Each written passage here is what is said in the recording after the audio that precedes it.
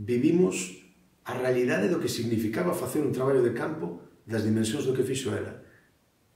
E, e intentar imaginarnos na nosa cabeza como sería facelo para alguén que non é de aquí, que, que é unha moza nova en aquel momento, sueca, ou sueca, suiza, perdón, eh, é prácticamente incomprensible. Porque nós vivimos situacións surrealistas, así que ela tivo que vivir situacións absolutamente surrealistas non me cabe dúbida.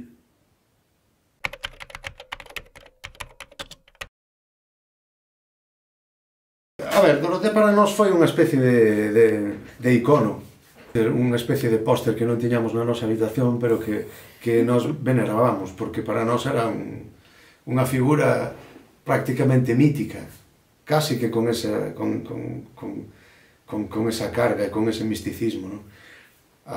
ademais, ás veces viña polo país, despois de ter feito tal, e procurábamos ir a, as conferencias que daba, non? E, e converteuse nun personaxe, bueno, a venerar.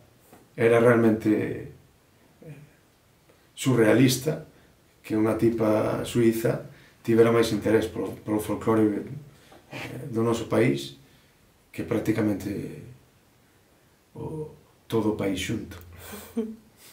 Ademais, eh, compre decir que, que ela o fixo dende, dende unha perspectiva tremendamente eh, científica, con coñecemento. Nós mm. éramos aficionados. A maior parte dos arquivos, por non dicir 85 90% dos arquivos que hai foron feitos por aficionados. Sin prácticamente coñecementos etno, etnomusicolóxicos, nin tan sequera moitas veces de, de música. Eh, eh, nin tan sequera de notación musical.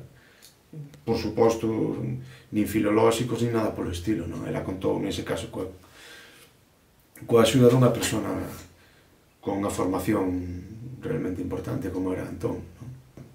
Eh, a propia clasificación, que foi pioneira naquel momento, a propia clasificación a nós quedábamos eh, moi lonxe. Nós o único que facíamos era compilar cousas en carpetas, eh, cousas que das que nos sentíamos moi próximos, moi devotos e moi e que eran moi familiares para nós, non? Pero nada máis.